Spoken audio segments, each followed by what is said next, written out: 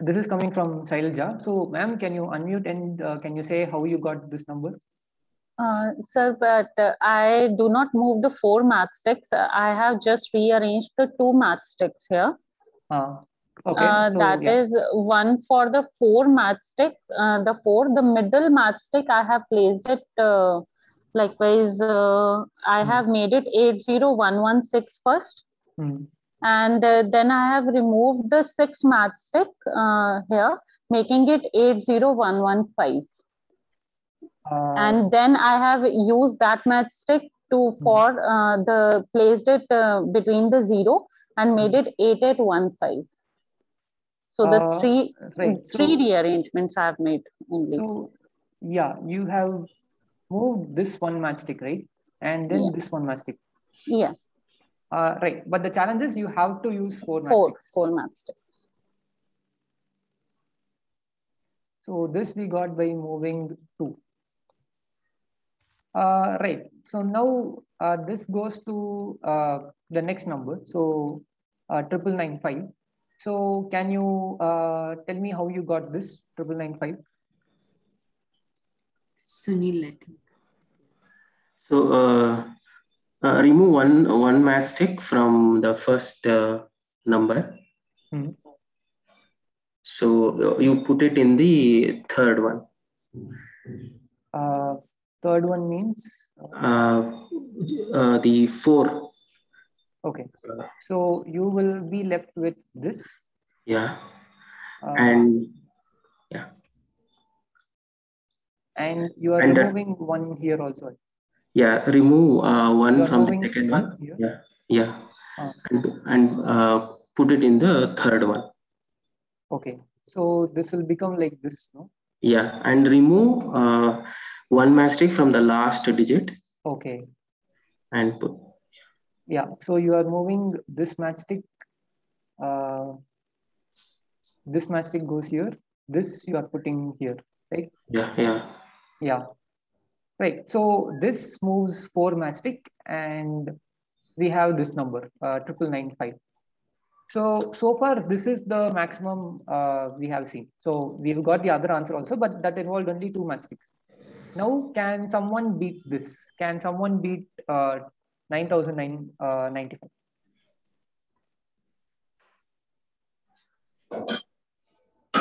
Okay, what if I told you I have found an answer which is bigger than this? Can you find that answer?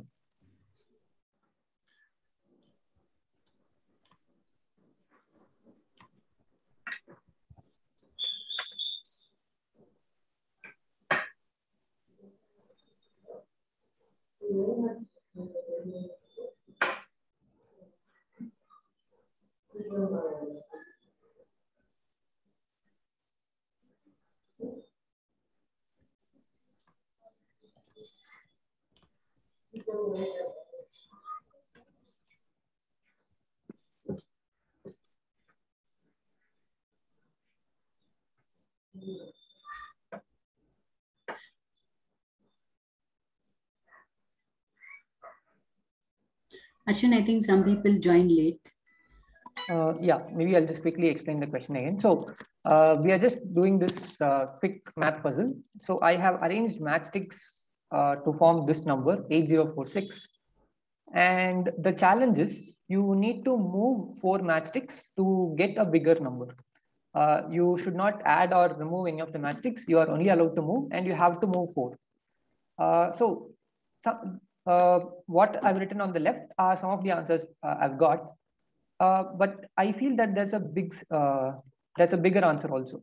So can someone see what that answer would be? Okay, so now I have a six digit number from Pragya. So let me just write it for everyone Yeah, to I think I got it. Yeah, uh, yeah. Who's this? Yeah, uh, yeah, I'm Geetanjali. Yeah, so Geetanjali, what is your answer now? That is double nine double nine. Uh, right, so I have uh, I have a larger number than that. Yeah, can you share your answer in the chat window? So the biggest number I've gotten so far is the six digit number 199115.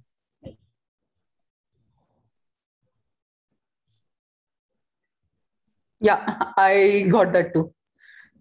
Okay. So yeah, uh, Pragya, can you share how you got the answer?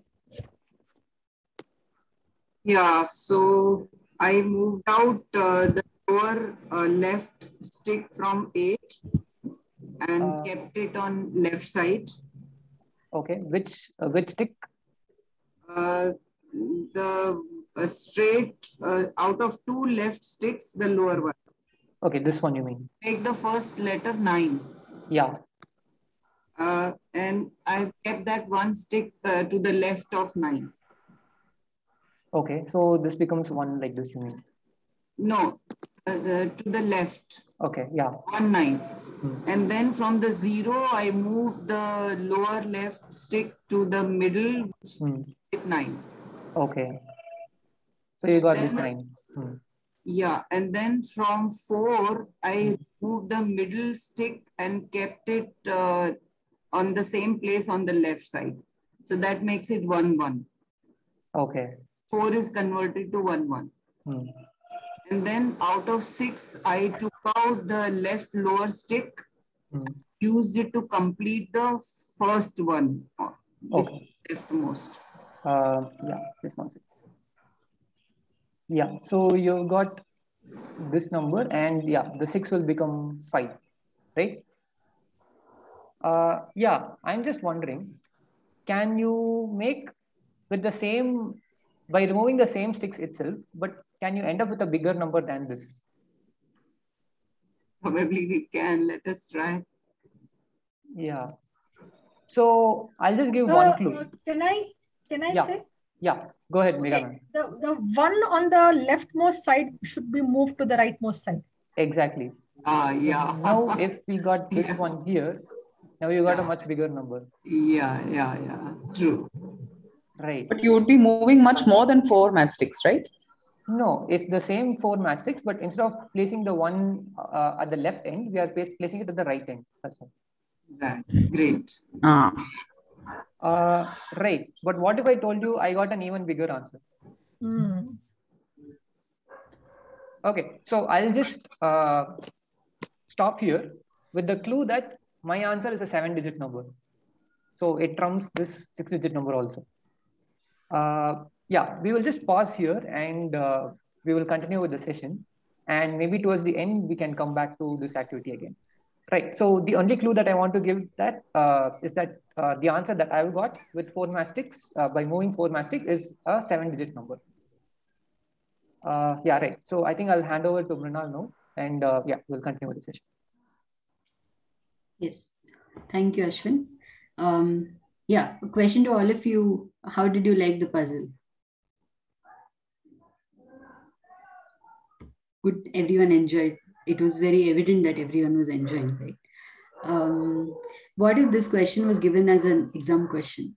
What would have given, uh, what answer would have given a full mark?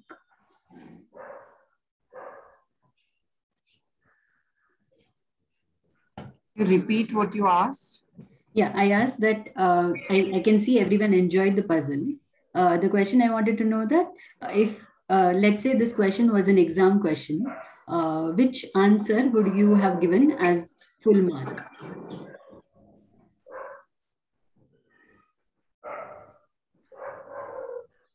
I don't know about the uh, giving answer, but I would have tensed because because it is in the exam. It is not an activity. It is related to marks. Okay. So you wouldn't have given this question at all, is what you're saying? Yeah, I would have left the uh, uh, left it. Okay. Uh, yeah. Any other thoughts? Um, Yeah, maybe, maybe marks to creativity, marks to how many different options did you come up with? What were the Yeah, different approaches did you take? Yeah, that's one possibility that uh, how many num- bigger numbers can you come up with? Yeah, that's one possibility. Yeah, Yeah, that's so- how we would have reframed this question actually for exam. Yeah that's also good idea. Yeah. So uh, uh, this uh, was a intro to you know introducing everyone to the world of feynman. Uh, feynman was supporter of not following strict rules and coming up with one answer and thinking about as many possibilities as possible and so on. Um, but before we get a deeper dive into Feynman, a question to everyone how many of you have read anything by Feynman or anything written about Feynman? I have read. Okay, so uh, yeah, maybe you can. Everything that he has written. Oh, Pallavi says everything that is. Yeah, yeah. Okay. Everything meaning uh, some of his technical work, but surely you're joking. Yes, I have also have the Feynman lectures in physics. So yes. Okay. Uh, others? Yeah, same here. Uh, surely you must be joking that I've read and his uh, physics books, uh, lectures. Okay, nice. So I'm sure you all uh, have like have tasted the flavor of uh, Feynman, right? So the idea of this one hour, spending one hour uh, here, was not to like revere Feynman and like see how amazing he was, and let's let's try and create another Feynman, but uh, sort of examining what all he said and uh, putting it into our context and see if it fits or not fits. Uh, can we uh, sort of remember some of these things and remind ourselves that um, can we uh, do small things differently, right? So uh, this is not a very structured meeting. It's a small group. It would be really nice if people just jump up and, and, like start sharing whatever thoughts come to their mind. I have some ideas which I would like to share, but as I can see, there are multiple people who have read uh, about Feynman and from Feynman. So it would be really nice if you can just start sharing whatever comes to your mind uh, at any point, right? Okay, so um, let's, I'll start by reading some excerpts uh, and then maybe we can take a pause and then um, um, just chat about what it means to us, right? So,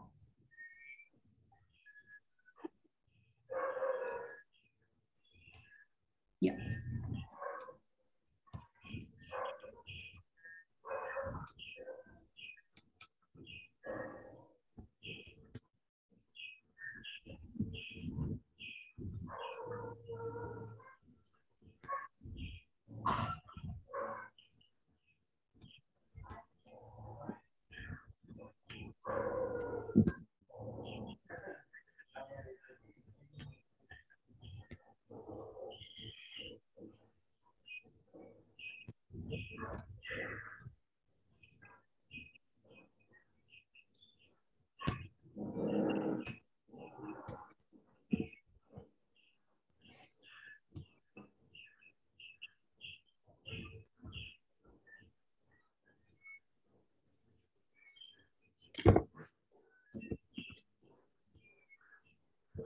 Okay, yes. So uh, uh, Feynman uh, wrote about, uh, you know, he came across a science textbook and uh, the first chapter of the text textbook was something like that. Um,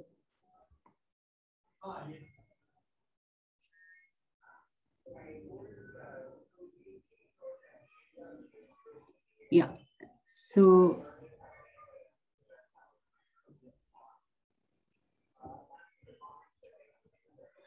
There is a first grade science book, which in the first lesson of the first grade begins in an unfortunate manner to teach science because it starts off on the wrong idea of what science is. There is a picture of dog, a windable toy dog, and a hand comes to the winder, and then the dog is able to move. Under the last picture, it says what makes it move. Later on, there's a picture of a real dog and the question, what makes it move? Then there's a picture of a motorbike and a question again, what makes it move and so on. I thought at first they were getting ready to tell what science was going to be about physics, biology, chemistry, but that wasn't it. The answer was in the teacher's edition of the book. The answer I was trying to learn is that energy makes it move. Right? Um, could everyone uh, understand that? Uh, was I audible enough? Yes, yes, you are audible. Okay. So, what are your thoughts on this? So, basically, there's a science book which starts with, um, you know, there's a toy dog, there are dogs, there's a horse cart, and uh, until uh, below every picture of that moving, there's a question saying what makes it move. The ultimate idea that the book wants to convey is that energy makes it move. This is the uh, first grade textbook and the first chapter.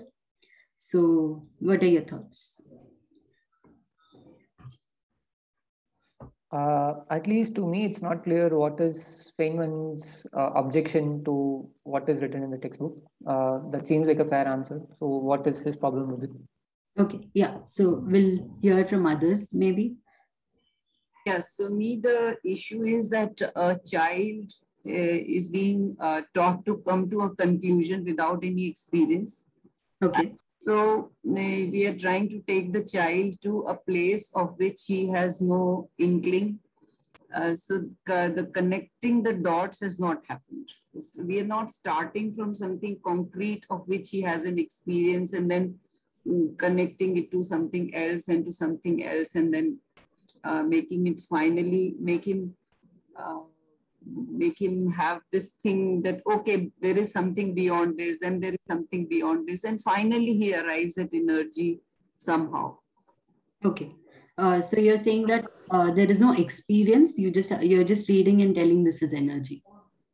Right? yeah. And then the, uh, he'll only be left to memorize the answer. Right. Yeah. Because he cannot grasp that abstract concept so you two things. Energy. It's only an abstract concept that we have coined as human beings. Right. So you're talking about two things. One is there's no experience, no concrete experience. Second is it's con that experience itself is connected to something abstract, which is not like visible right away in front of us. Right. Right. Yeah, I think these are great things. And secondly, uh, this would be totally missing out on the joy of learning. Right yeah. other aspect the excitement and the joy would be totally missing from here. Right. Yeah so experience people might still bring in right? That's what is called hands-on science. So uh, instead of showing a picture of dog maybe people might be given i mean i don't know toy dogs or asked to walk around and play with their notebooks and so on.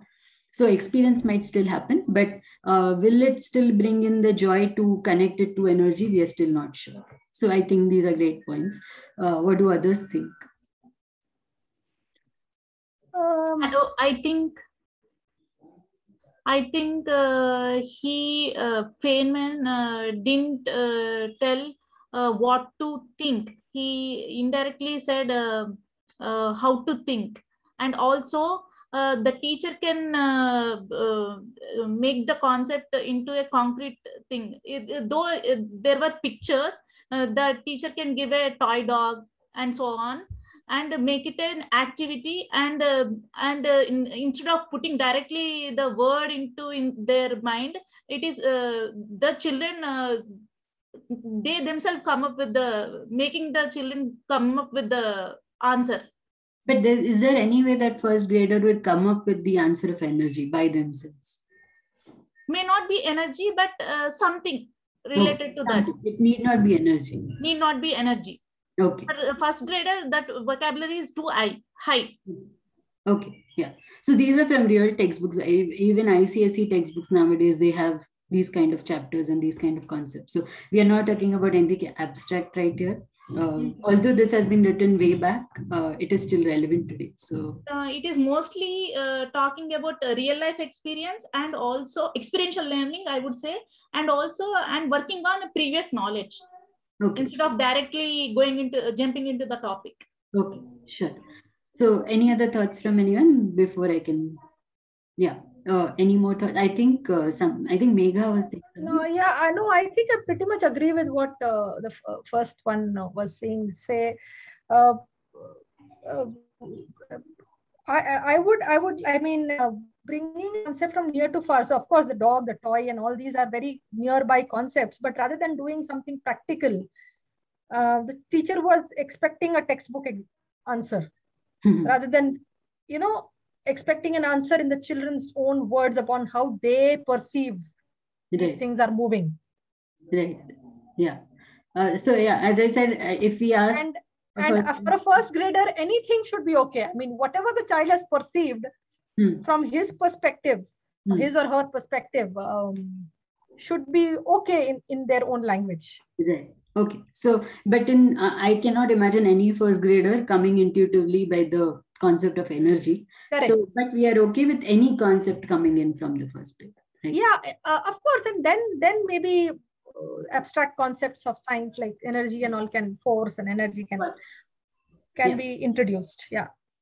Ashwin, do you still stand by your statement or do you want to change? I may I? I'm Seema. Sure, I sure. joined in late. Yeah. But I know what's what discussion is going on. Right. My question is maybe not pertaining to this chapter alone, but. I would pose a question here that do we have to teach them something like energy at grade one level? Yeah, Or I should think we?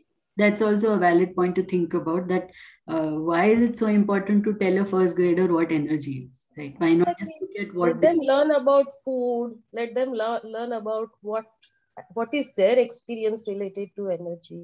Yeah. More than just drilling something which the adult mind is thinking is right. Right. So, uh, uh, yeah, I will just uh, read out what Feynman had an issue with this, uh, and then we can move on to something else. So, um, so Feynman says now energy is a very subtle concept. It is very, very difficult to get right. What I mean by that is that it is not easy to understand energy well enough to use it right, so that you can deduce something correctly using the energy idea. It is beyond the first grade it would be equally well to say that God makes it move, or spirit makes it move, or movability makes it move. In fact, equally well to say energy makes it stop. So look at it this way that's only definition of energy. It should be reversed. We might say what when something can move, that it has energy in it, but not what what makes it move is energy. This is a very subtle difference. It's the same with uh, energy. Okay, this is some bag, uh, other reference. So uh, the answer is that you wound up the spring, it tries to unwind and pushes the gear around. What a good way to begin a science course. Take apart the toy, see how it works. See the cleverness of the gears, see the ratchets, learn something about the toy, toy, the way the toy is put together, ingenuity of the people, devising the ratchets and other things. That's good. The question is fine. The answer is a little unfortunate. So uh, yeah, the idea was that, uh, which is something which all of you said, right? Energy is an abstract concept. And I, I also like the small twist, twist that he gave, right? Why not just break open the toy and see what is inside? So toys is something which is close to every child's heart. We can uh, look behind and see how it works. So In Yeah. fact, that's what the children do, and that's how. So we are trying to impose something very unnatural. Yeah, yeah. But uh, you know, normally children are told not to break open their toys, right? Parents would generally not be happy if children break open their toys. So here we can like specifically get a toy to break it open. So I know Tarun, I think uh, when he was um, a baby, or now he does it to uh, his son, he always gets two pairs of toys, and one is to break it open and one is to play, right, Tarun? Very good. Yeah, I think that is the idea. That's so very good. We can open it up Okay. and see what will happen. Because we don't want to break a toy which is very close to us. So if we have two copies, then at least we can break one. Yeah. So yeah, I think uh, all of you shared great ideas. So uh, the key is, uh, you know, and uh, he later says that you know the problem is not with energy; it has to be introduced at some point. All these definitions, concepts have to be introduced at some point. But why start it as I mean, why uh, start with definitions? And I think that's true for not just first grade, but for all our science chapters. They start with definitions. So uh, can we do something to rework the way we you know uh, share anything right so um, yeah so a question to all of you uh, just an activity. Say you were curriculum designers and we had to design the first chapter of first graders. What would it be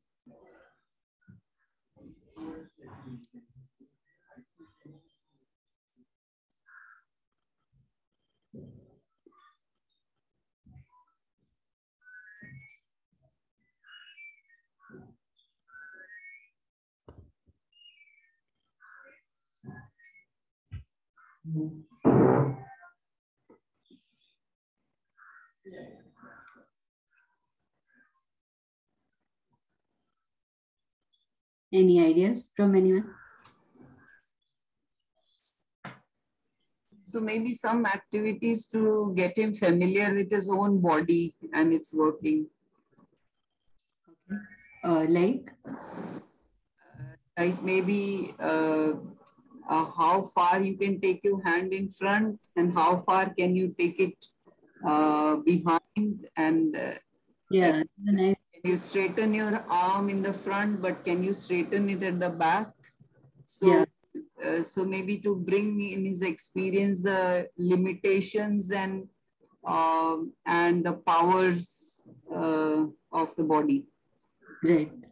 Yeah, I think that's a nice activity that how far can, and also it might differ from, you know, person to person. So that might also be a great uh, place to discuss.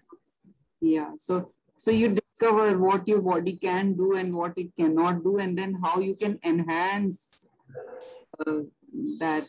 Uh, Yeah, that particular movement. Yeah. Uh, I just uh, have an idea.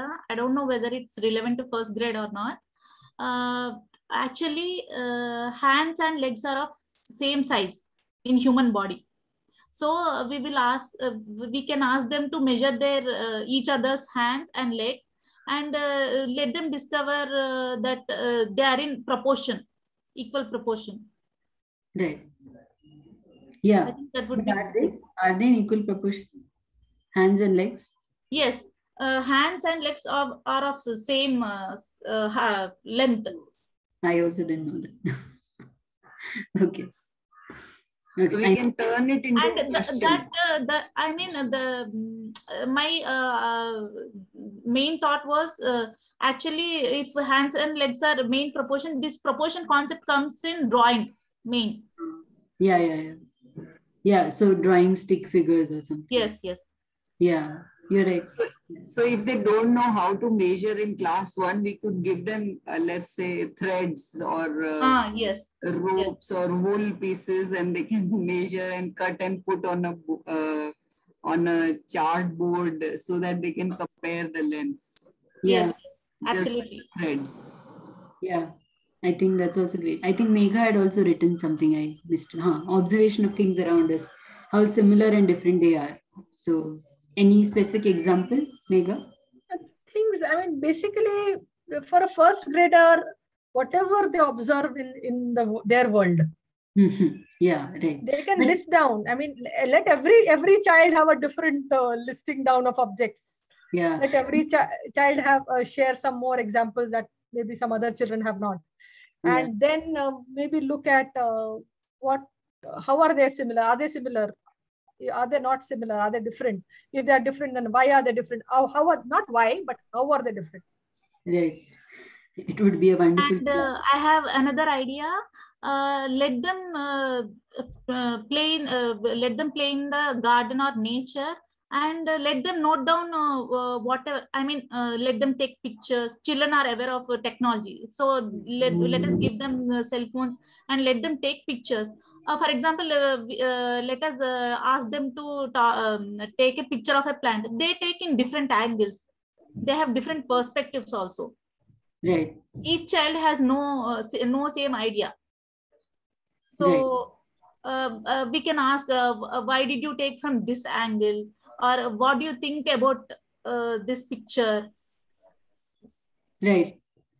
Yeah, I think these are all great ideas. I just wanted to add one point. So, j- just sharing fro- based on the experiences, if we generally give um, activity like observations and taking an object, uh, parents will typically tell, you know, uh, four lines about serials and, uh, you know, make them uh, ratify it and come and share it in the class. So, there are, of course, these are all very great ideas, but implementing, so we have to think from many levels. First also communicate these ideas to parents uh, and tell them that why this is a, a better way than some other way and so on. So yeah there could be some other challenges uh, on the way. But yeah anybody has experiences of trying this and communicating ideas to parents? Um, just curious to know. Uh, um, I am a, uh, I'm pursuing B.Ed special education. Parallelly, uh, before lockdown, uh, I have taught uh, two children, twin girls with uh, spe- uh, special needs. So uh, I uh, instead of teaching them, I learned from them, their mother actually. uh, she said, uh, uh, why should we think in this way? Uh, I mean, um, she said that uh, she, uh, I mean, uh, she totally changed my way of thinking. Right. She's a uh, very, uh, and uh, for example, I'll, I can give, you a simple example. Uh, because uh, they're children with special needs, they don't know the money concept. Uh, Hmm. I asked her, why don't we introduce them the money concept? Then she said, okay, that's a good idea. Uh, mm, but uh, she said, why don't we give them a credit card? Credit or debit card. Uh, I said, uh, but we sh- they should know the coin currency. Uh, I, and then she said, uh, why do they have to know about the currency? The future is oh, uh, everything about uh, plastic money. So I was amazed. Right. So uh, uh, such such uh, parents are very few, very few. Yeah, I, I agree. Uh, so yeah, these things have to be com- communicated, I guess. Um, right. So when it comes to Feynman, uh, it was very interesting uh, that you know he he never said that uh, you know this is how you should teach. Uh, I really liked uh, some of the things that he says. Um, of course, he was very witty and um, very charming and uh, all these things. He he was of course quite arrogant as well. Um, and so uh, one of the things he says that you know i can't tell you how to teach science because that's your job. I mean he was telling to teachers and teacher educators. But i can tell you how i learned science. Uh, and i think that uh, the way he was brought up by his father for people who have already read about that would know that uh, there was a very interesting way in, uh, in the way his father and his parents brought him up uh, and that has really stayed with him uh, till the end i think. The, so this early ages uh, in fact again it comes up again and again in his writings that you know universities are pointless. You can't really change people uh, at that point. You can give them additional training but if you want to inculcate values like you know curiosity and all these things it has to happen in the early age and uh, that happened for him because of his father. And uh, that's why the point of parent came because how different parents can you know. Then he was no scientist. He was in fact uh, working in some cloth factory or something.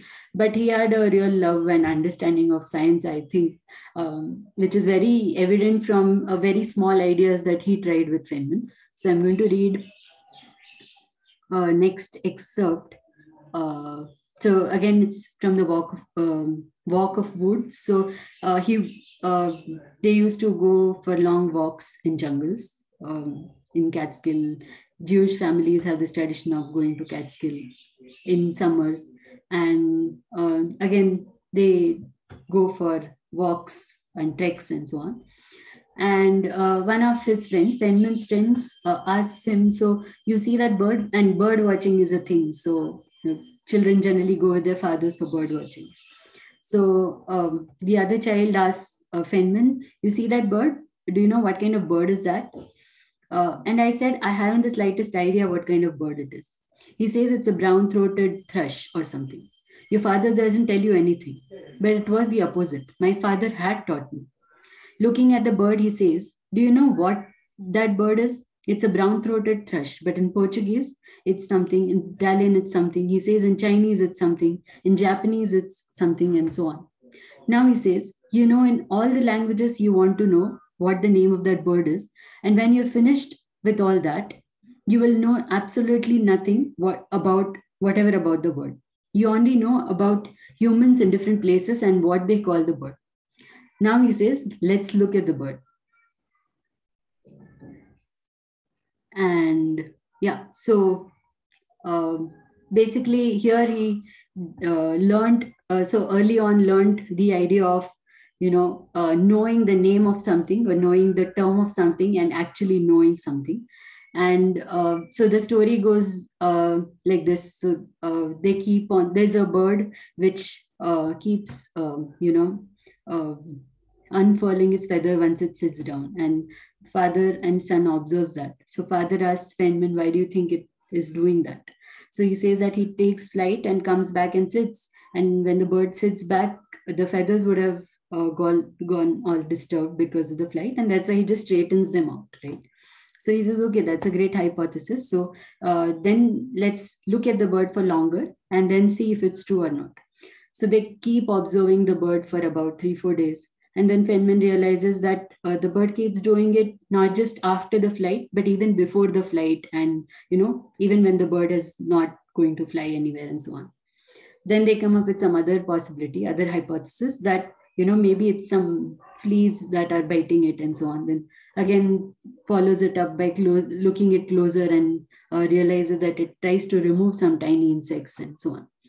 So again, the power of not telling the answer, but letting the child discover for himself, uh, Feynman for himself, um, and letting him, you know, go through that process of uh, experiencing that hypothesis were wrong, then coming up with another hypothesis and on. So uh, I, I, this is one of my favorite stories from Feynman. Uh, so, and I'm sure everyone would uh, relate uh, with it. So, any thoughts? Ma'am, uh, this is Vishnu here. Yes. Um, hi.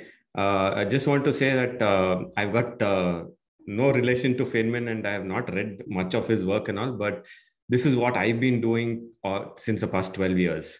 You know, I've been just taking people out and I've, I'm generally never start with the naming ceremony of the bird or anything. First, I'll ask them to check out how it flies. Why do you, why do you think it flies like that?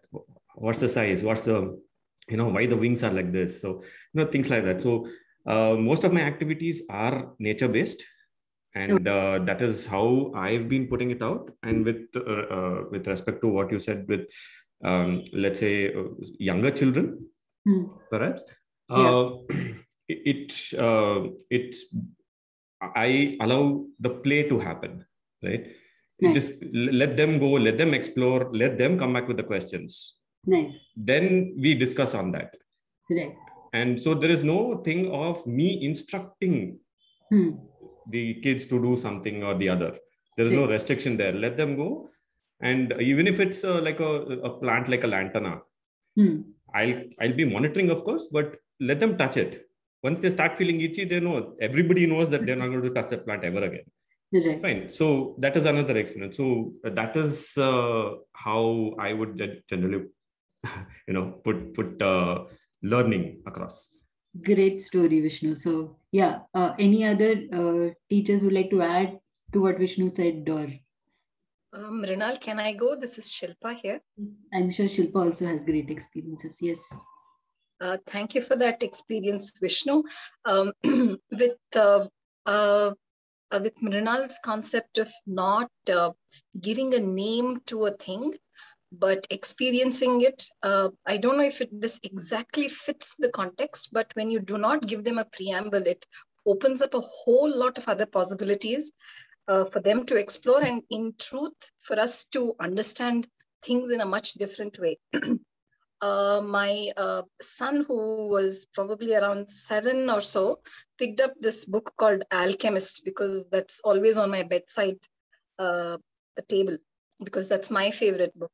So the thing that most of us know about the book Alchemist is that uh, it's a boy who chases his dreams and how the universe, you know, kind of puts everything together so he can go follow his dreams. So I did not say anything about the book to my son. I let him and read it. I really didn't think uh, it's a very deep book for, for a seven year old to even understand anything much about it. So at the end of the reading, I asked him, do you even remember what happened? What did you understand from the book? So um, he said there's one concept in the book that keeps revolving over and over again about the universe. But then also there is this boy who's entrapped in his dream, and that is all he wants to do. So it gave a completely different perspective of the book for what it is popular in the world about. Uh, he has, of course, a seven year old has no clue about The Alchemist. So uh, that gave me a new perspective about how, uh, you know, an untaught mind can think about things so differently. So that's with my experience. Thank you. Yeah. So Vishnu and Shilpa, great stories. Uh, but a question for everyone is: so this is all fine. I, Vishnu, I'm uh, uh, imagining that you are uh, doing this outside the school curriculum, right? Uh, this can be linked with the school curriculum as well. Yeah. Uh, so, uh, but necessarily not like part of school curriculum, right? No, I'm uh, linking it with the school curriculum, but it, it, it could go as an independent thing by itself. Yes, of course. Yeah, and uh, Shilpa is a parent, so and uh, her son Adrit, I happen to know, so she's homeschooling him. Uh, but a question for other teachers, especially high school teachers.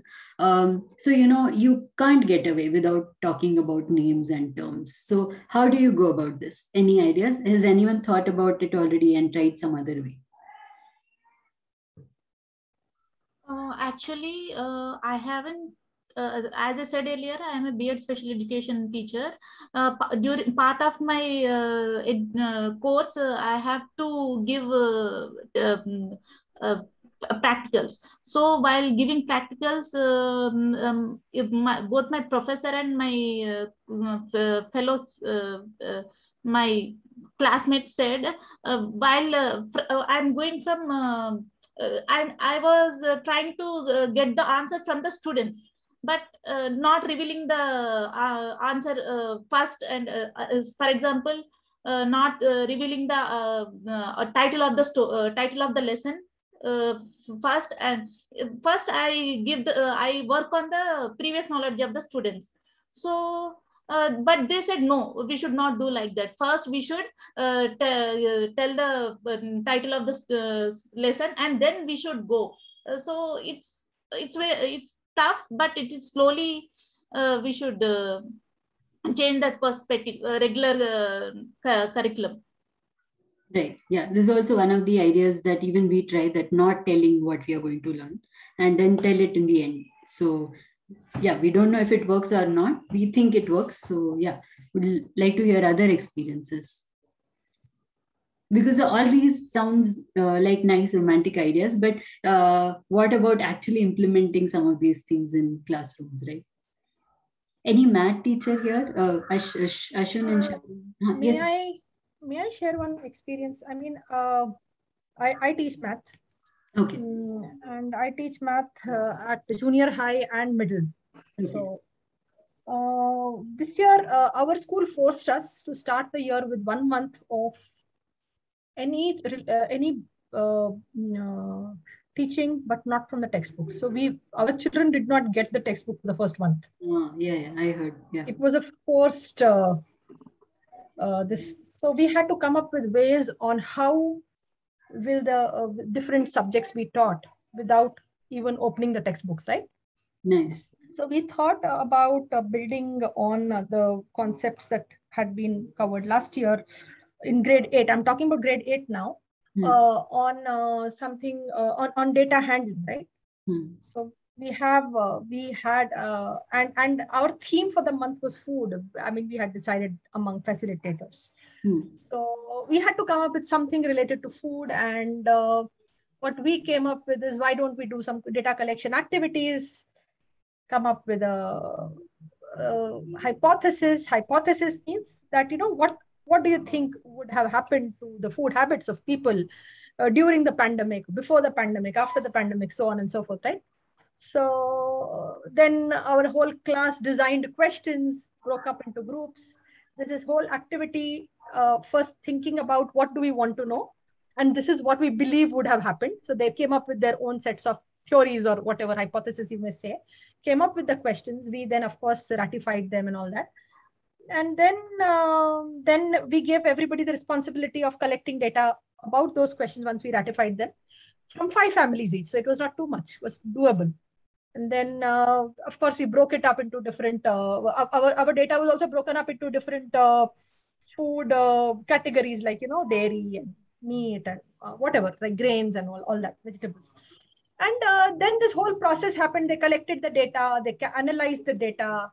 Uh, they they looked at what averages and all that need to be done and then they realized that hey my hypothesis our group's hypothesis did not come true. Our hypothesis was correct and so on and so forth right? At least for the 100 odd families that this class collected. Hmm. so this entire thing was through experience without us talking a lot about which which averages to take in which because every group was different every group was had a different uh, average or a different uh, why was mean more important in and mode more important in their case vis-a-vis some other group which graph was more relevant and so on and so forth. So everything came up in a very uh, organic way. Nice. Yeah i think great story. Uh, great story from all of you. I'm sure like vishnu said even what he have been doing or what uh, Shilpa tried can also be connected to curriculum. So these are small steps, I guess. Of course, eventually there is this larger curriculum that we have to cover. But at least when we are trying to introduce the topic uh, in the beginning of the year or in the beginning of the chapter, these are small steps that we could take. Take, I think, uh, which should have great impact. Yeah, can I just add one thing? Uh, I I just uh, uh, well, uh, Megha ma'am was speaking. I just uh, remembered that while uh, speaking uh, or um, so-called teaching, uh, you know, higher grades, uh, one thing I understood was, um, uh, especially I, was teaching biology, and they had issues with because it's a lot of scientific words and you know those kind of things. So um, what I did was the first exercise I did was to give them a set of words that would be commonly used in biology, and ask them to break it down. Mm. And uh, the only sentence I told them is 50% of biology is language. The other 50% actually science. So Hmm. whatever you're doing is basically you're talking, you're looking into language. The rest of the science comes easy. And when they broke down the words, uh, you know, um, that they were like, oh, okay, they, they themselves realized that uh, one word will either give a function or a location or something of that sort. And then they started categorizing it themselves. And the rest of the chapter was a like it went smooth flow you know? So i didn't have to actually teach them teach them. They also didn't have to rack their brains. And uh, by the end of it uh, of course with a little bit of okay let's get to the garden and check out why this happens why that happens and things like that. So Nice. with the combination of that then it, it actually worked out uh, to everybody's advantage. Right. and then they were not bored at all from you know biology. They were like okay this is the first time i'm actually feeling biology interested but couple of years too late because they were already in the 11th grade Yeah. Yeah. Yeah. Again, so like going out and asking questions and etymology, where the word comes from, what, why did someone think of naming osmosis, osmosis, right? So, yeah, these are uh, great uh, tools, I think, which all of us can use. Thank you for sharing. Um, yeah. So, uh, when it comes to high school science, right? So, uh, why the problem that we are facing currently is happening uh, is possibly because there's this overflow of information. We have known so much now that, and all this increase in information has like been brought in textbooks, school textbooks, and then uh, as teachers, the challenge is to make sure that students learn that content. So um, Feynman has a very nice thought for this. So let me just share and read it out. So he says that yes, knowledge kept increasing, and uh, you know, uh, so basically, uh, earlier what was happening was uh, people would just die off, and the knowledge that they learned or accumulated would die off with them. But slowly, we learned, uh, at least in humans, that you know this knowledge can be transferred from one generation to the other, and it can be accumulated as knowledge of the species. And what happened was uh, with knowledge, uh, it was also passing on some uh, biases, prejudices, belief systems, and things were not really true but thought to be true, and all the other things also were passed on, right? And so, uh, with this boon came a big disease of uh, you know just accepting the information as it is, right? So, uh, what I've highlighted is uh, then a way of avoiding the disease was discovered. The disease, as in the disease of just believing uh, what has been passed on, revering the information that we have got from our elders and so on. Uh, this, um, so then a way of avoiding the disease was discovered.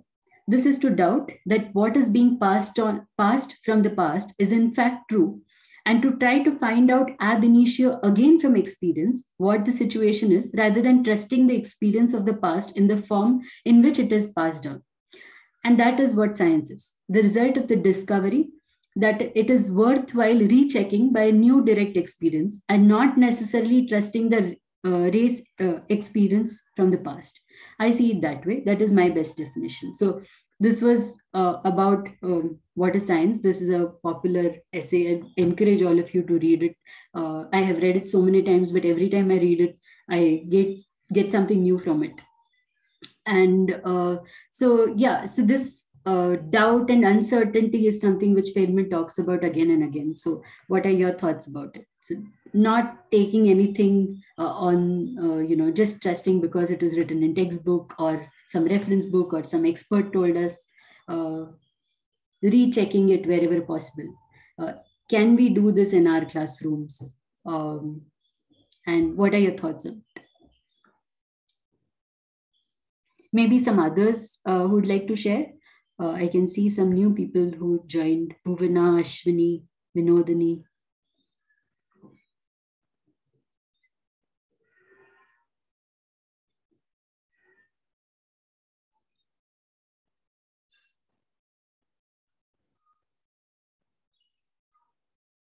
So I really like the term that has been used uh, in this essay, passing of knowledge. Uh, it is time bending because now uh, we are uh, the knowledge is not stuck to time. It is we are bending time, and the knowledge is passed on.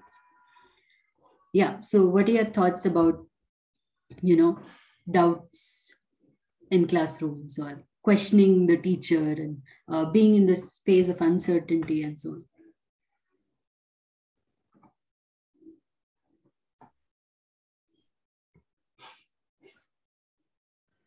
Um, I think I'd just like to add uh, uh, to this is that I wish I was taught this way because that is the reality of today, right? We are living in an uncertain time with respect to COVID. We don't know what tomorrow is going to be.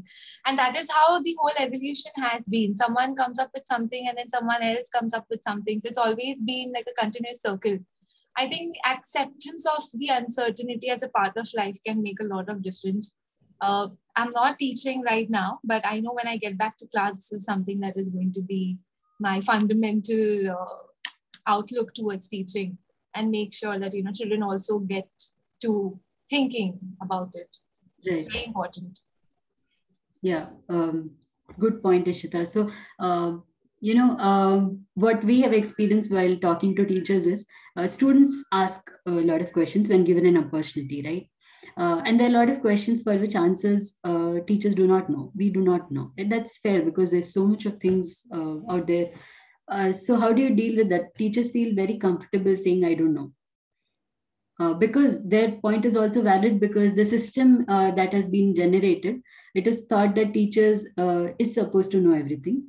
And, you know, even I remember from my childhood that if a teacher would it's if it seemed like the teacher didn't know whatever then everyone would just lose out on the trust on her that okay she doesn't know much uh, so what are your thoughts and i think this is uh, all system generated uh, but how do we get uh, i mean find a way out uh, I did come across uh, such situations uh, where uh, I was not able, uh, when children and when students asked me, teacher, what is this? When I was not able to answer. I mean, I didn't have the pro uh, proper answer or I was doubtful about that. So I said, uh, sorry, children, uh, uh, even I have a doubt. let us explore this together. Or today, you go home and research, Google it, and I will also research. And tomorrow we will come and discuss it in the classroom. Together we will learn. We will share our ideas. And the children were okay with it? Yes yes okay. they, they were even surprised actually. Uh, initially they, they, they thought uh, she's dumb. This teacher is dumb. But slowly that uh, to, towards the end of the year uh, that uh, that has changed. That has changed. Because uh, what i think is teacher is a human being. She is not a supercomputer to know everything. Uh, and we have to uh, uh, continuously update ourselves and instead of updating ourselves we have to be open about um, open about what do you say? I don't know the correct word. I don't have the correct word but we have to not knowing right? Not knowing yes. That's the beauty. Okay. Yes Megha yeah and oh, Kashmir, yeah go ahead yeah, I was just uh, just adding to what she has just said. So I did come across such experiences, and what I realized was that students actually find this interesting because what happens usually is, let's say if I write a question on the board and a student is not sure about the answer, they won't have enough courage to put their hands up and say the answer if they're not sure about it. But let's say if there was one particular session where teacher herself or himself made a hmm. mistake and was not able to realize something, then they know, oh, even if teacher, let's like even a teacher can sometimes not know things. So who are we? We, we are just students, right? So we Yeah. are. So I always tell students to ask questions because you are a student and you are not supposed to know everything, and that is why you are a student, right? And even I don't know everything, but we are here to explore things together, and we'll learn and grow together. So I Mm. think that sort of relationship once you establish between a teacher and a student, then I think even students feel comfortable at home and they'll try to experiment with their thoughts and with their imaginations. And that is what makes them a good student, according to what even Feynman always discussed. Right. So, yeah. And uh, uh, I would like to add that to the previous example I have given, I always thought that uh, while teaching, uh, instead of uh, directly putting the matter into their uh, minds, uh, a teacher and a student must co-learn. Hmm. They must uh, uh, explore together. Nice. And uh, uh, learning is a lifelong process from womb to tomb. That's what uh, I I didn't uh, say this exact phrase, but I implemented. Okay. So by the end of the year, they slowly understood uh, my way of uh, thinking, and uh, uh, it it built a rapport also, Right. good rapport. Nice. Yeah. Another uh, disadvantage of this, uh, you know, pressure of knowing uh, all is uh, two disadvantage. One is you avoid give, coming up with situations where you are uncomfortable with. Uh, so you avoid letting students think uh, openly and asking questions. Uh, other uh, disadvantage is that a uh, lot of times uh, through whatever small interaction I have had with teachers, I've noticed that teachers tend to give uh, incorrect answers. Like not incorrect in their mind, they are correct. But if you ask them that how certain you are about this answer, they won't be certain. But while speaking, Like because assumptions, yeah, so they assume. Yeah, no, it mind they would have assumed, but while saying you would say it emphatically. So uh, instead of saying that maybe based on these things, I think this could be the answer, but we'll have to find out. Instead of that, you just say this is the answer, right? This uh, the and again, no blame to teachers. It is just because of the system the way it is that there's so much pressure that you just can't say I don't know or you know or maybe I'm, I could be wrong. So, but this is something that we have to break open. I think uh, slowly it might happen, right? Yeah, uh, I think Megha wanted to say something or I something. think I think similar on similar lines. Uh, basically, we should come out of this uh, pressure of knowing everything. Nobody can know everything. And today, I mean, again, going back 50 years or 30, 20 decades ago, when we were studying was uh, and Richard Feynman was studying was different from what today. Today, everything, no, information is available at a click of a button. Yeah. So what I can find out in 10 minutes, maybe that child can also find out, right? in 10 minutes. Yeah.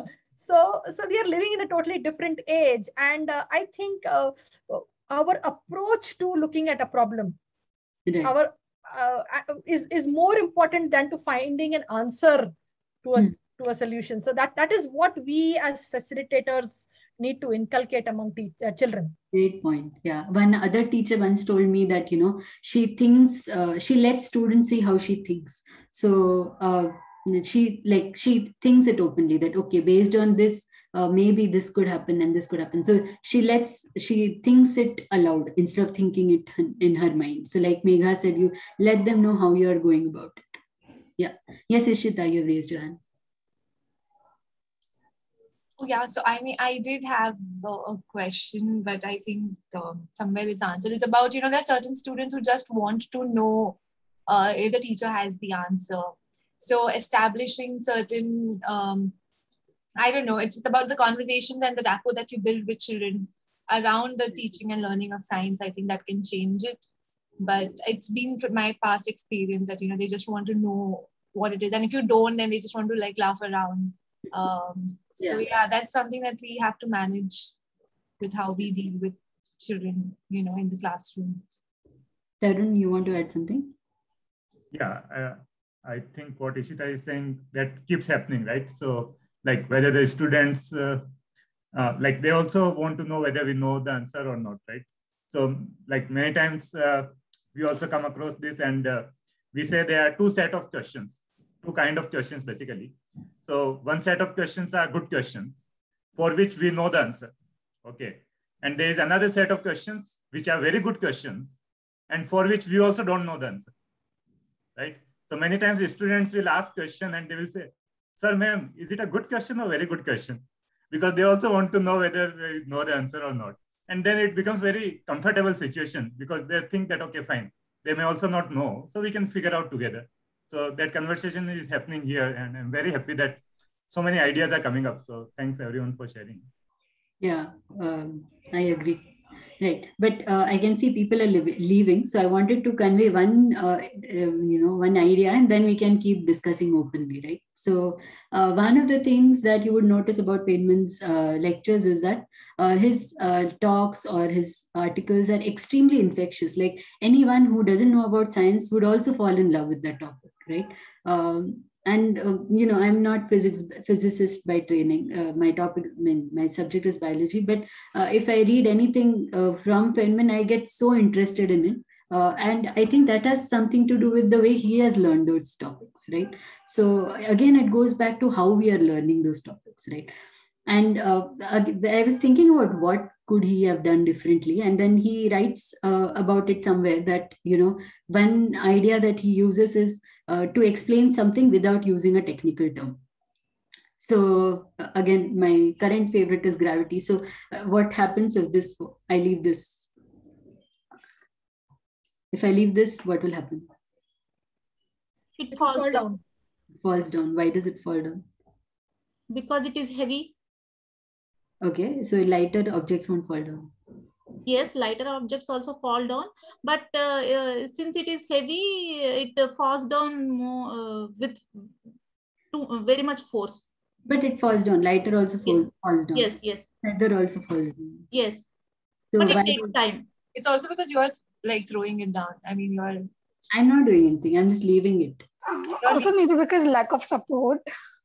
Okay. So yeah you got that task right? You have to not use the word gravity right? So yes yeah let's see what happens let's see how how far can we go right and really think about it like it's it's really not so easy uh, I, I face a problem here. I, I'll tell you, you know, Nowadays, children have become so smart. At least there'll be five children in the class who will use the term, even if you, as a facilitator, don't want to use it. Exactly. So Absolutely. this is a very good way to get away from those children. You know, either because of tuition classes or uh, we, there is this illusion of knowing. You know the name of it, but don't really know it. I'm sure none of us understands gravity, even if like Tarun is PhD here from similar field. But i it's it's a very complicated uh, how much ever deeper that why we can keep asking more and more more and more. Why is it falling? Uh, we can keep going on deeper and deeper. And we'll still not we'll still reach a why we, where we don't have the answer. So i think this is a very good way to get away from uh, students uh, bias of knowing something. Uh, it's so these days as you said no even until fourth class if you look at the textbooks terms like density, terms like gravity, all these things have been introduced, right? All these things are such heavy concepts to deal with, but they have been told about them. And that's why they think they know them, which is not their mistake. It's the way information has been presented to them. So, uh, to let them just think about uh, it in a very you know nuanced way or an unbiased way we can just tell them that you have to not use the technical term right so let's see let's take two minutes and see how far we can go maybe Tarun, you can take this, facilitate this because I am not really an expert. But I'm also not an expert, but I can do that. okay. Yeah. Yeah. Can... So I was just thinking that maybe we can say there's a lack of support, right? Because if let's say there was a table, mm. then it would, I mean, it would still fall down, but maybe not all the way through the ground or something like that. But then again, there's a question: Why does it even fall down to the table in the first place? Mm. So we are back to square one that way. Shilpa wants to say. Instead using the word gravity, can we say there is a force within Earth that is pulling the object? You don't have to use the word gravity, but yeah, in other way, if you can explain. So now I'm just thinking, what if instead of answering the question, I pose another question, right? Why That's why also- doesn't it go up? Why why why does it just go down, right? So Wow, wow, what a question. Yeah. I think that's also a great idea. Again, something that Feynman's father does is uh, once they are we've gone in for a walk and um, he notices that uh, the ball in the cart moves backward when the cart is moved forward, right? So uh, he asks his father, why is this happening? So he could have said inertia and all, but he doesn't say inertia. He just adds more observation. He says that no one really knows why it happens, but even this happens. So you just add another observation. And then, of course, eventually, I think through some conversation, he says that people have been calling it inertia. So he also names what the word names it, but still that uh, thinking aspect has not gone. So uh, yeah, I, I think that a lot of things that Feynman actually applied in life came from the way his father brought him up. Right. Yes, two minutes we can try about gravity. So uh, asking another question that why it is not going up is one idea. Adding another observation like feather also falls down a leaf also falls down is another possibility. Any other ways that we can go about it? And what can be vary That can be another idea. Like, so will it fall everywhere down? So, like we can change the place also. That may be another thing. But the plane doesn't fall down. That is yeah, also- that's Bird so doesn't that's fall down. Don't fall down. So I think maybe that's because the plane itself is moving, right? It's not still. Okay, so, So- moving things don't fall down because we haven't seen a still bird in sky also, right? Yeah, I mean uh, that is what I have. Uh, so why I I If ball I, falls I'm down, not- ball is moving. Uh, yeah. No, that Very the nice. thing is, Very nice. um, mm, I think so. Uh, first of all, a disclaimer: I'm not a science student. The last time I studied science was in tenth grade. So, yeah, but I'm I'm I'm, I'm just trying to see. person to do this because you're not biased. Yeah. So what I think is there's a difference between a plane moving and a ball moving. So when I drop hold of a ball from my hand, it starts from a rest position, right? And the plane itself is not in the rest position. I mean, that is one of the reasons why moon does not fall down, right? It stays up there still. so because it's, it's itself is moving. So I don't know. Right. Yeah. Maybe something like that. I think uh, great ideas. Uh, again, we can think about it. Uh, maybe there's a WhatsApp group. We can continue this discussion there.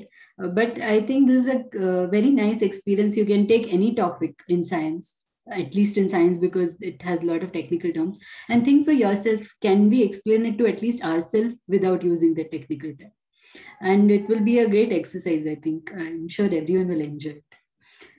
So yeah, with that, uh, let's move on to one um, another point. So yeah, so what I was saying that this uh, Feynman conveys conveys this beauty and wonder of science beautifully, and there's another video of him explaining about atoms. Uh, it's on YouTube. I was planning to share it now, but in the interest of time, I won't. I'll just share it. Uh, share the link on the chat, um, and then people can watch it later the way he describes atom you will fall in love with it like it's it's there's so much of energy and so much of uh, wonder and excitement when he talks about atom uh, and there's no jargon at all so yeah this is something that maybe we can think about as teachers as well so yeah Uh, can I can I uh, just uh, something I remembered? Can I just add? Yeah. So uh, when I was in corporate, um, we used to go and take interviews to Hmm. colleges, right? Engineering colleges and all. Hmm. So uh, one of uh, one of my um, peers, he always used to ask this: "Ca- Can you explain your project to your grandmother? right something that you know, uh, they used to like add a lot of jargons. They used to explain that project in like most uh, fa- fantastic way. But Yeah. then, okay, now if you have to explain it to your grandmother who doesn't understand technology at all, will you be able to explain it? right So that, that just reminds me of like, you know, can, can you explain it in the simplest terms? Yeah. In fact, it this is reminded me of Yeah, my PhD. So even during my PhD, we used to have this uh, grandmother's pitch. So you have to explain as if you're explaining to, to your grandmother. And uh, in fact, I did explain it to my grandmother, and she was like, "So what? Why are you doing this?" and then, so it really makes you think. It has a lot of value because right. Right. Like, okay, really, by having all this. Because we, we may sometimes use technical, it may be easier to use technical language and jargon to, uh, to explain it to others, but to simplify it is more difficult than we imagine. Right. Yeah. yeah so I think there is uh, another thing. Yeah. Kashmira. No, sorry. Sorry. Uh, I was just saying there is another thing which is relevant to this, like, uh, which, like, I think there are books that can you explain it to your dog? I don't understand why do they say that because like are they talking about different language altogether? So that part i don't know. But i uh, think that's just a catchy name. Yeah yeah correct. Also i think more than explaining i think here also we are trying to like explaining to ourselves that is definitely yes in a simplified way that is great. But here we are not explaining to the others right? We are allowing them to figure things out. So there is slight variation there. Uh, so how can we bring that component where they also don't use the these heavy jargons and we also don't use the heavy jargons and try to figure out things. So i think that is very important. Right yeah. Yeah so actually i just would, wanted to share one experience. So it, it, it i mean it, one summer i was just trying to learn crochet. I'm much more into mathematics than science and i realized that oh parallel lines may not really you know not intersect every single time. And the only way you can figure it out is by learning crochet because then you can create something in hyperbolic space where parallel lines do intersect each other and that's when I approached my grandmother because I couldn't really figure out it from YouTube videos how to crochet. and my grandmother already knows all of this stuff. And she was just surprised. She says she did not like math. She says she hates math. But then here she was doing crochet, knowing much more about mathematics, maybe in that respect than me, who also some, happen to have a degree in math. So I think some somewhere um, with their experiences, sometimes the kind of connections that you can always make in nature and in the science and it always comes from the nature. So maybe in origami let's say the way things are being folded. So let's say a um, woman of the house knows how to fold napkins on a table in a flamingo shape then they might know a bit about the architecture and the geometry as well. So i think it's often that we will be surprised when we talk to them and we get to know oh there might be another angle to the same thing. And that is where i guess inspiration also comes from. So just uh, a coincidence that you mentioned this because it's also part of Feynman's stories that uh, he's he's written a lot about knitting um, and its use in mathematics. Uh, so uh, he is overhearing a conversation between two women uh, about something. It seems to him like some complex analytical geometry, and in those days there were like uh, very severe sexist uh, understandings, and he's surprised that two women are talking about analytical geometry. And he just looks back and realizes that they are talking about knitting. And um, so then he says that you know it's not about gender or any other thing. You just have to pose the problem or, or bring in the context where this person is most comfortable with so yeah uh, right. So this is a image uh, that I've, you can see an image put on the screen. Uh, what do you think is this?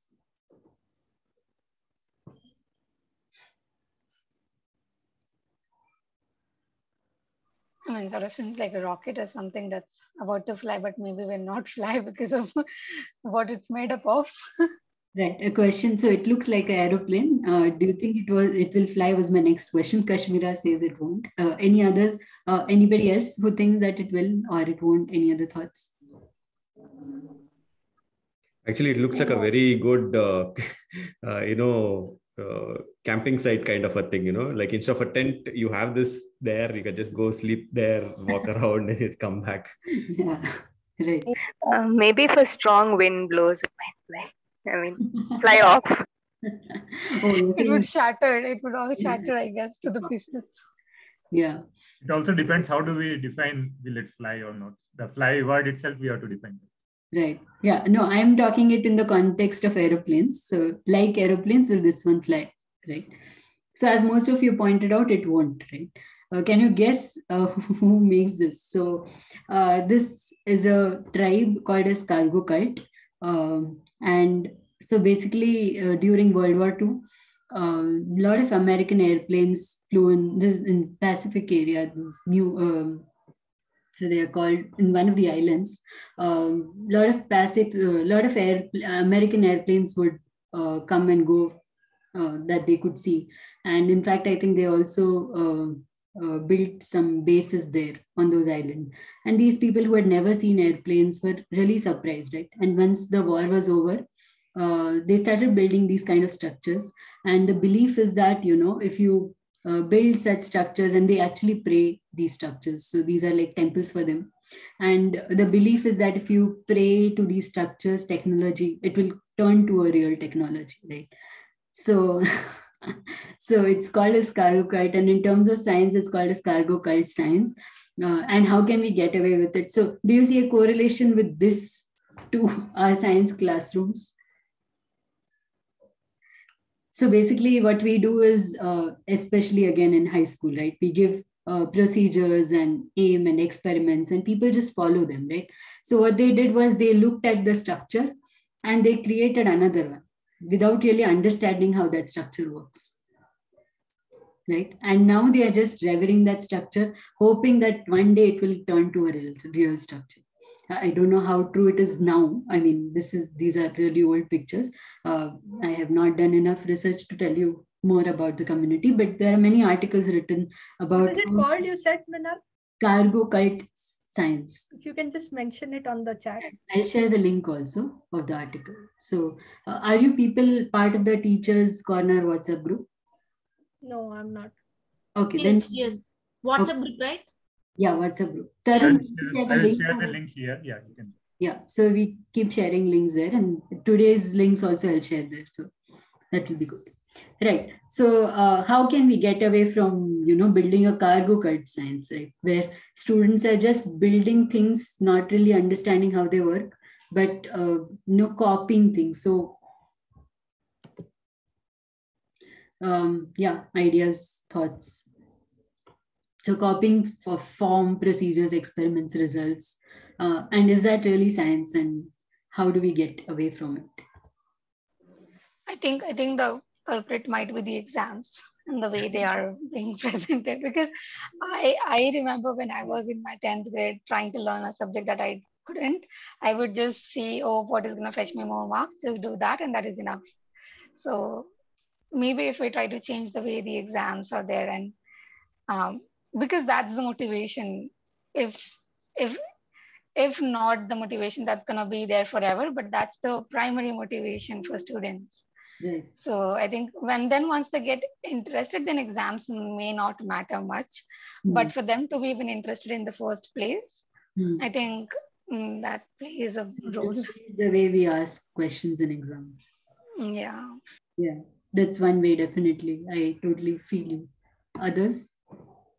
Uh, ma'am, one observation that uh, you know I I have is that uh, something like um, let's say something like chemistry uh, has a lot of uh, industrial processes underlying it.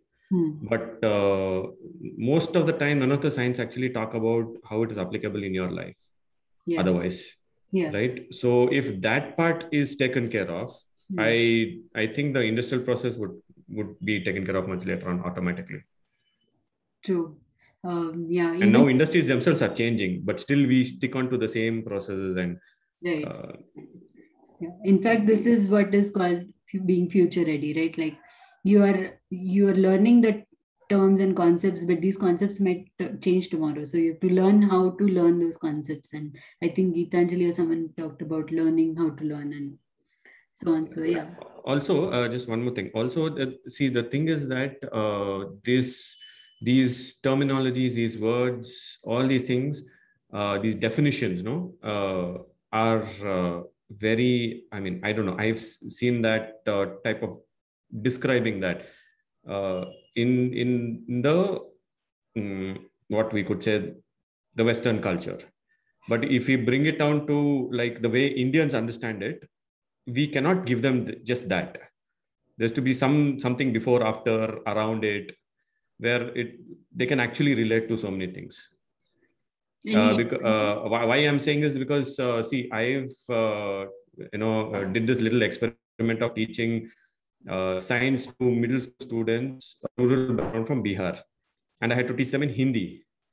Now, most of these words are falling very heavy on them. And second thing is the moment, uh, you know, it was the, the whole thing of defining something was given to them, they could just not understand it. There was like, what? Only this?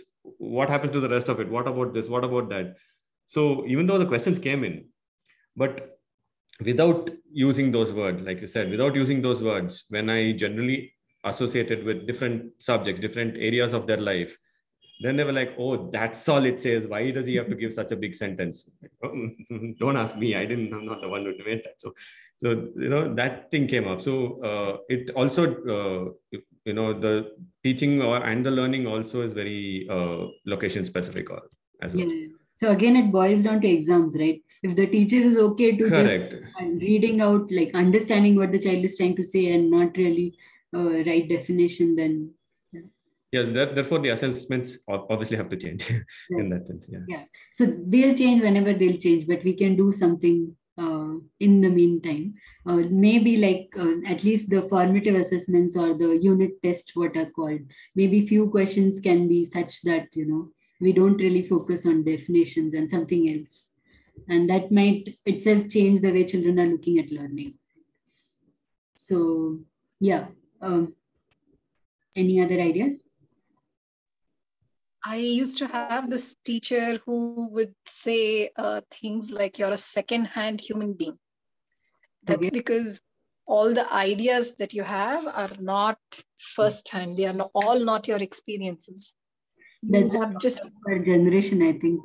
Most of the ideas have already been found out. and and have been transferred to you in such a way that you do not even want to explore or find out or wonder or be curious about. So um, that that was a concept that really got all the children in the class thinking and wondering you know? I mean as soon as you say a second hand person it kind of affects your emotions in so many ways because you are you know a unique person and everything. But then when you actually think of it and then it's always necessary to debate on this you know? How much of it is your first hand experience all that you do in your life so i mean just intriguing them in some ways so that they are you know motivated to question things is one thing that can be instilled i think Nice. Uh, I would like to add a uh, um, add my point. Uh, uh, how are we going to change the way we do this? Uh, I mean, uh, there there is an education system. I mean, a method of teaching, like um, um, Montessori way of teaching. I don't. I forgot its uh, name. I mean, they uh, in that uh, way of teaching, children they themselves write uh, the, their own books. They don't read any books. Oh, Uh, I forgot its name. I'll uh, let you. I'll uh, uh, I'll let you know in the chat, WhatsApp chat. and what Uh, happens to those books? They they themselves uh, they explore the nature. Okay. It's uh, they explore the nature, and uh, What for example, uh, they write? Do others read them or they, it's for themselves they themselves? read it. They uh, they, they each uh, child's point of view is different, and they draw and uh, they write their own uh, lessons, and uh, and mostly uh, it is exploration, self exploration. It is based on. Sounds very interesting. If you can share the link somewhere, maybe it might be useful to everyone. Yes, I just forgot the method of teaching. It is like Montessori. Whenever you recall, you can share it to us and we can put it on the group. Sure, sure, definitely. Yeah thank you. It is all. It is famous all over the world. Uh, the the Yeah. method of teaching those, but it is quite expensive, and Oh. they use natural uh, products, beeswax crayons. I think you could, uh, you could Oh, Waldorf, yes. Talking. Waldorf. Yes, yes, Waldorf. Waldorf. Yeah. Uh, I, Have a different way of teaching. Right. Yeah. uh, I had a question. Um, I mean, more a thought. So uh, while I uh, I do agree that there is a lot of merit in exploration and in uh, doing science rather than learning science, uh, but there is a ten year period. I mean, ten to fifteen year period in school, and th- the amount of knowledge that humans have today uh, is like is too vast. And um, uh, even if we explore some concepts almost impossible to explore every concept. Like if you take atoms or like many things we, we it might not really be possible to do experience it firsthand. Then it completely uh, the whole point of schooling is then you might just just well spend uh, your lifetime exploring every concept right uh, so i was just thinking I think how I, we would balance. Your point. Yeah, I, I agree with you there. Uh, that there is so much knowledge now that we cannot end up rediscovering everything, and then the point will be lost. If you're just rediscovering everything, then what? So uh, the idea is not like uh, rediscovering everything. And when it comes to topics like atom, um, atoms or anything complex where we cannot see anything directly by eyes, um, is can we at least look at the experimental data or how scientists went about finding it? And then look through the original experiments rather than just uh, you know uh, taking the conclusion of those experiments as facts. So con- inculcating this value of doubting or uh, thinking rationally and so on and as you said there's so much out there that we anyway cannot cover everything right i'll wait for others to i'll also hear from others but I just wanted to make a point uh, that uh, you know th- there's so much to know that will anyway not be able to cover everything. So I think one of the things that NEP talks about is reducing the curriculum significantly. So let's just take a small content to begin with, and then less content to begin with, and then explore it slowly uh, in a nice leisurely manner. And all these specifics will anyway will have to encounter when children's uh, you know choose a field of interest and they can go in whatever depth they want once they have uh, developed that curiosity and liking for that subject. That freedom they can have. But why introduce everything to everyone? Right? Yeah yeah.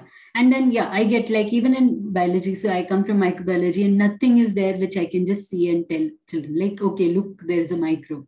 But uh, but can can we at least see how you know people came about finding microbes or what were the kind of inventions that took place in kind in terms of microscopes that make made this discovery possible? Or then of course look at some things around us take a pond water and something and then see we can find out some similarities between them and so on so yes of course uh, we won't be able to do everything by first hand experience, but at least look at others' first hand experience, experiment data, and so on. Um, uh, I would like to add a point.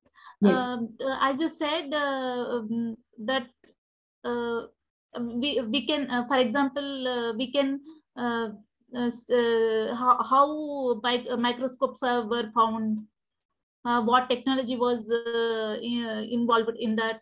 Like that this is all uh, their maths is involved physics is involved science is involved. So the plight of our main education system is uh, uh, they separated the uh, subjects but they are all uh, uh, interlinked. They're all interlinked. They have just separated the subjects and they are telling the students to mug up. Instead of that uh, the Feynman or uh, uh, whoever, Jiddu Krishnamurti, whoever, they thought uh, they thought these are all interlinked. Yeah. In our kitchen also, uh, while we are preparing dosa or idli, there is kitchen science involved. Yeah. Yeah, I agree. In real world, there is nothing like physics, chemistry, and biology. Everything yes. is there. So yeah. There is art also involved. Yeah, yeah, yeah. You're right. So once we break that uh, uh, notion, uh, then we can uh, make uh, changes. I mean, right. the change automatically happens. Right. So coming back to Lavanya's point, and then uh, this about uh, you know how to take care of so much knowledge, uh, and connecting it to uh, experiments and procedures and copying the procedures and so on. again, there could be simple twist where you know let them do the experiment and let them come up with whatever conclusions that they want to come up with, and then think about them rather than telling them, okay, this is the aim of experiment. Aim of experiment to find out measure the surface tension or whatever something and then uh, tell them also the protocol and then you already know everything basically you just have to put in the numbers so there are many small shifts that we can do and change this um, to where, to whatever level is comfortable for us right So um, yeah, I think I'll just skip this. Um, right. So one key thing that Feynman is trying to define is that uh, according to him, what is science? Science is doubting. So freedom to think, freedom to doubt, and freedom to think rationally. So if we can convey this small uh, line that to everyone that if we are learning science, we are learning to doubt. We are learning the capacity to doubt something rationally and finding it out. Right. So that's the key of everything that we discussed, I think. And then being comfortable in people doubting your you also, and uh, people uh, being uh, comfortable in that uncertainty of not knowing things also, right? So uh, just one thing, uh, the session was named Pleasure of Finding Things Out. And when Feynman was asked, uh, what is the value of Nobel Prize to you? And he says that it has no value to me. The real prize is the prize is the pleasure of finding things out when he found things out and the kick of discovery that uh, that discovery gives you. So yeah, this is something that maybe we can all take back with us and see if we can let this kick of discovery let our students also experience this kick of discovery wherever possible, right? Yeah, so formally, I think we are way beyond time, but formally, I think uh, uh, I will end it. Of course, we are all here. Uh, for people who are getting late, you can leave, but others, we can continue discussing. I just wanted to share um, the right answer uh, for the first puzzle, Ashwin has sent it to me on WhatsApp. I'm just going to put it. So he says that uh, this is the right answer. You can all think about how to get to that answer. Um, for people who weren't there, Tarun, can you tell what was the question?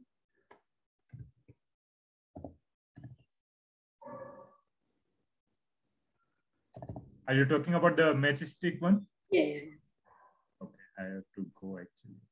Huh, okay, okay. So uh, the uh, question is uh, 8046 are, uh, is the number. Uh, imagine it to be written with matchstick and you have to change the position of four matchsticks such that you get a bigger number. And the biggest number that you can get from is this. Okay. Is this. So you can all try how to get it. Yeah.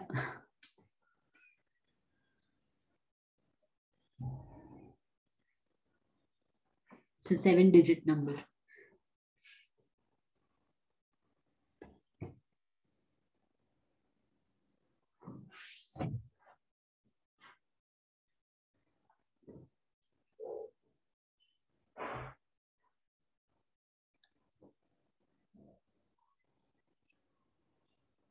Yeah, we can continue discussing. I think Gitanjali had some points to make. Sorry, I had to cut all of you at some point or the other.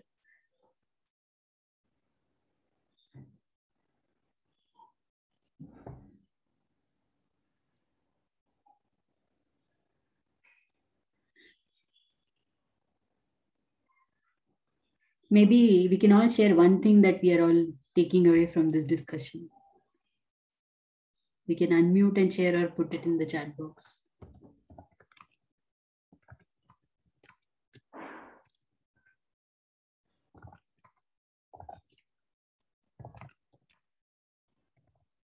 I think for me, the biggest takeaway was science is doubting. Um, and thinking about uh, how can I bring it in my daily life and also with the children that we work with and teachers and so on. Coincidentally, the same thing for me, Mina. Not coincidence.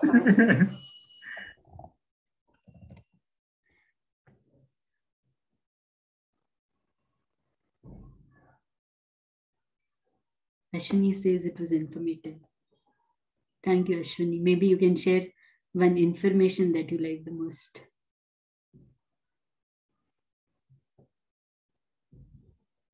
Vishnu, Gitanjali, would you like to share?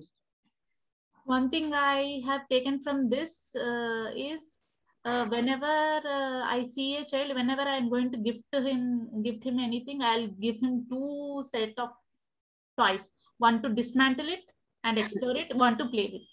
Nice, nice. Uh, I, I just realized that uh, me and Feyn, Feynman was not were not very different when we were growing up, and even now. Oh, even so, growing up, that's very good to know. Yeah, yeah, yeah. No, because in my house, uh, you know, I used to like jump into the garden, uh, figure things out, uh, come back inside, open all the, uh, you know, everything, and then put them back. And that, that used to happen. So my parents would never say anything. Like, okay, do it as long as you make sure that it is functioning at the end of it. Fine, go ahead. Nice. so it has to function at the end of it yeah, because I, I, used to open up the uh, radio and the CD player and everything, so that they said put it back. However, but it it should be playing the song the next time I use it or anybody uses it. So okay, figure things out. I think there's uh, this article by Feynman about how to fix a radio by yourself. So you might relate to it then. Yeah. so done that and now I'm, I'm putting that across to children but um, it's it's like it's more like I'm purposely connecting it to the academics. It can go as a separate thing. I'm purposely connecting because otherwise people don't get that tangible thing, you know. Yeah. It's like saying energy, like yeah. how we started off. It's like that. So I connected there. I show them how the subjects are interrelated and how it's the concepts have been applied in nature. True. So that's that's how I I put it out. There's something we also try to do that not like talk about these things in some abstract manner, but right there in your textbook there are things that we can learn. So yeah. Uh, Mrinal, uh, if you don't mind, can you share those uh, Feynman's uh, articles? I'll share the WhatsApp. Is that okay? Yeah. Um, I think one thing, uh, there's so many things that I've learned, but the best one was the good question and the very good question. I think that saves uh, us from, you know, that dilemma of not knowing, nice. but together finding out. Yeah. Yeah.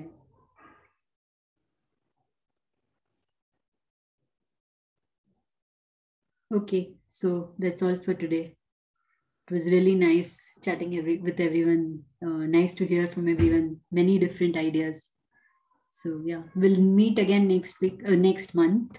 The idea is to discuss Krishnamurti's idea next month. Oh. Uh, yeah, we'll uh, get back with more details. Okay. Thank you very much, Mrinal. Thank you. It was a lovely. Thank you. Thank you so much. Thanks, Tarun, for the invite. Welcome. I almost missed it, but yeah, I just finally got through it. thank you. Thank you so much. Thanks a lot.